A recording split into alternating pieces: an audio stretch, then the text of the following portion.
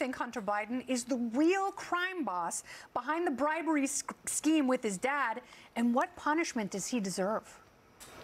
Well, uh, we'll start with the most important question, which is what punishment does he deserve? And all of us who are watching, I assume, are pro-death penalty, and it seems like that's the the only option for someone who has flouted the nation's laws, treated us with such disrespect, and worst of all, is denying his daughter the life that she deserves. Yeah, and the I- name she deserves. Absolutely. I've started a GoFundMe, actually, personally, to get money to Little London, who is now America's child, I think it's fair to say.